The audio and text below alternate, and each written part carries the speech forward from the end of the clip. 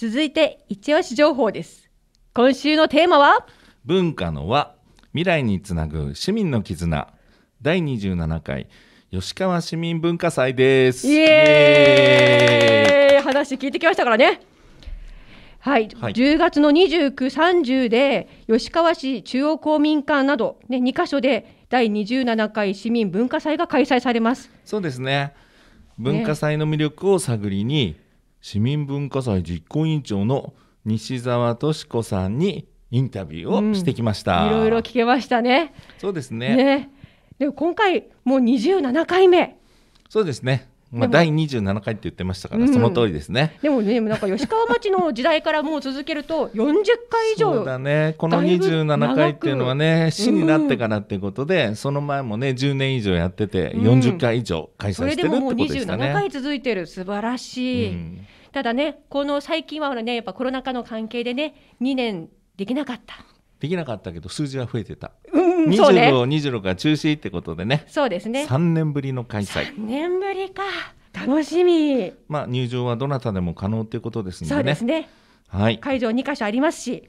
そうですねはい。はいじゃあ2箇所のうちまず中央公民館の方でね、えーこちらは開会式が29日土曜日の10時からうんうん。市長、教育長、吉川市議会議長、県議などのご挨拶もあるってことでね、なんか久しぶりにね、みんなの前に立てるってこそうとで、ね。やっぱイベントがないと会えない方々ね。壇上に立つ方もなんか気合が入ってるって聞きます聞いてるんで、ああのそれはあれね、あの舞台に立つ方だってね。そうそうそそうね。う。まあ、ぜひね、あのー、29日土曜日の10時来てくれるといいなってそう思っですね。てます。まず挨拶をちゃんと聞いて、ね。うん、そうね、舞台の皆皆さんも、そうですね。で、その開会式が終わると、その後、えー14時頃まで、えージャズダンス、フラメンコ、日本舞踊、フラダンス、チアダンスなどのうん、舞踊、それから読書、ウクレレ演奏など、いろいろなものが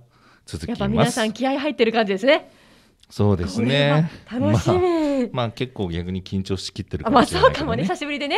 まあうん、まあそれはそうかも。それも来てのお楽しみだということです。うんで、翌日30日日曜日は、うんこちらちょっと早くて9時半からほうほう15時45分ぐらいまで、うんはい、演奏ダンス演舞詩吟など、まあ、こちらもまあ一日いろんなものを入れ替わり立ち替わり、うんあのやるそうです。1日目と内容が変わるんですね。そうですね同じ人ではございません。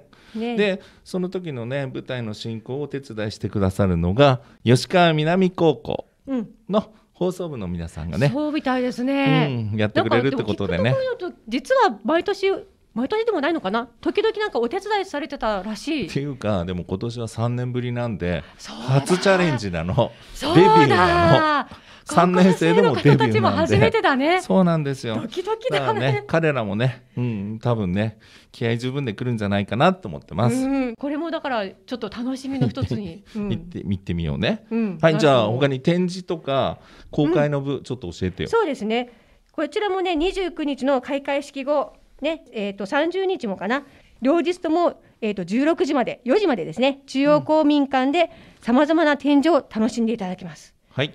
うん、ただ展示場所は1階と3階の各部屋になりますので、そちらにね、はい。行っていただいて、はい。絵画、写真、あの手工芸、はい。陶芸、生け花、書道、はもうこちらの方は展示ですけど、なんか3年分の作品がね、なんかもう毎年皆さん、まあでも作ってらっしゃるってなんか聞いたよ。うんでも展示スペースはあの同じサイズなんでそっか。3年分って言ってもそんな3年の中のよりすぐりをお持ちになるんでね。あそこは期待してもらんっていいと思いますね。1年かけて作はい。る作品もあるってお話でしたから、そうですね。ねもうこれはというね、うん。ものが多分展示されているいろいろあると思います。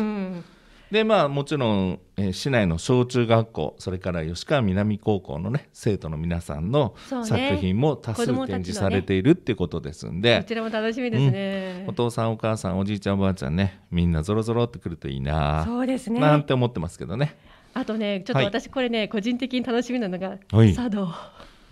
え茶道うんだってこれお茶？だってお茶もお菓子もいただけるらしいから、ね。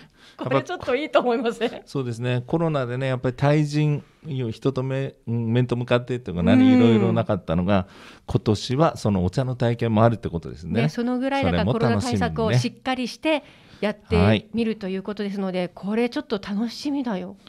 楽しみですね、うん、まあ食べる方がとはい。いうか、食べる方ね、まあ、そそれはよく知ってますけどね。だはい。美味しいよきっとこういうところでもはい。ね。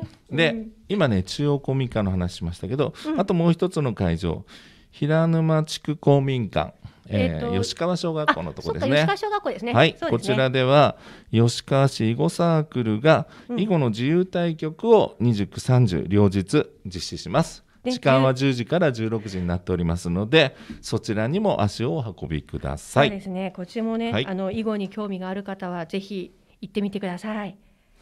さあここでですね市民文化祭実行委員長の石澤さんからメッセージいただいてますので、ちょっと聞いてみましょう。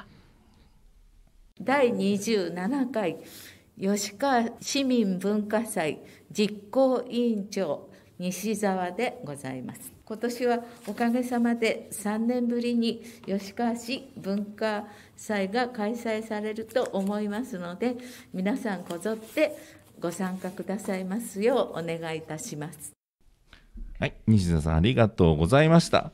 今ねお話しした内容はね西澤さんの方からねいろいろねお答えいただいた内容をお伝えしてますんで、そうですね。はい、えもう本当みんな楽しいぞっていうのが伝わってきましたねう。ん楽しみ。ね、お問い合わせは障害学習課電話番号零四八九八四三五六三零四八九八四三五六三へお問い合わせください。吉川のホットな情報を毎週金曜日にお届けする金のナマズ。今週は？そうまとあっくんでお送りしました。来週もお楽しみに。